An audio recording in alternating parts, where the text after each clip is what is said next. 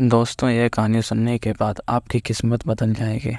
तो ध्यान से सुने। प्राचीन समय में विद्यार्थी गुरुकुल में रहकर ही पढ़ा करते थे। बच्चों की शिक्षा ग्रहण करने के लिए गुरुकुल में भेजा जाता था। बच्चे गुरुकुल में गुरु के संदिग्ध में आश्रम की देखभाल किया करते थे और आश्रम में अध्ययन भी किया करते थे। वरदराज को भी सभी की तरह गुरुकुल भेज दिया गया। वहाँ आश्रम में अपने साथियों के साथ घुलने मिलने लगा, लेकिन वह पढ़ने में बहुत ही कमज़ोर था। गुरु जी की कोई भी बात उसके बहुत कम समझ में आती थी। इसी कारण सभी के बीच वह उपहास का कारण बनता था। उसके सारे साथी अगली कक्षा में चले गए थे, लेकिन वह आगे नहीं बढ़ पाया। गुरु जी ने भी आखिर हार मानकर उसे बोला, बेटा, वरदराज, मैंने सारे प्रयास करके देख लिया है। अब यही उचित होगा कि तुम यहाँ से अपना समय बर्बाद मत करो, अपने घर चले जाओ और काम में मदद करो। वरदराज ने सोचा, शायद विद्या मेरी किस्मत में ही नहीं है और भारी मन से, गुरुकुल से घर के लिए निकल गया। दोपहर का समय था, रास्ते में उसे प्यास लगी। वह इधर उधर देखने पर उसने पाया कि थोड़ी दूर पर ही कुछ महिलाएँ कुएँ से पानी भर रही थी। वरदराज कुएँ के पास गया। वहाँ पत्थर पर रस्सी के आने जाने के निशान बने हुए थे। तो उसने महिलाओं से पूछा, ये निशान आपने कैसे बनाए?